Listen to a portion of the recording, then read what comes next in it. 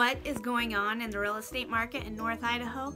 Well, there's no doubt that it is crazy out there. We have record low inventory right now and a lot of buyers looking to purchase.